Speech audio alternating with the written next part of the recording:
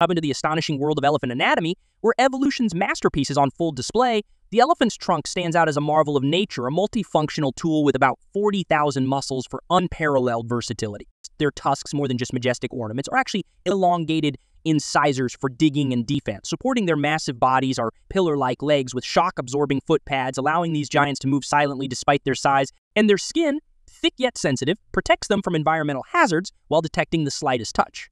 Elephants embody the wonders of nature, showcasing the perfect harmony of strength, sensitivity, and intelligence in the animal kingdom.